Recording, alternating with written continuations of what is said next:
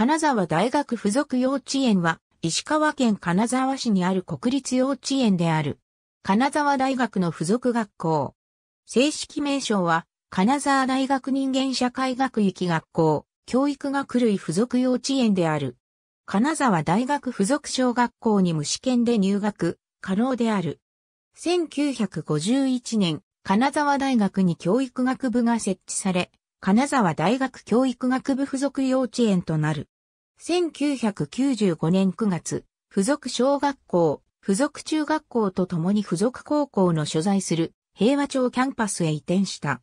2008年4月、金沢大学の学部再編に伴い、教育学部は人間社会学域、学校教育学類に改組した。そのため、正式名称も、金沢大学人間社会学域学校、教育学類附属幼稚園となった。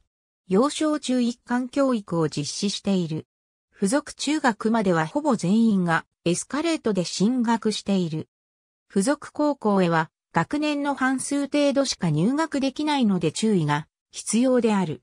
金沢大学人間社会学域学校、教育学類の附属学校である。そのため、幼児教育の理論と実証の研究を行う。他の教育研究機関と提携をし、幼児教育の進行に努める。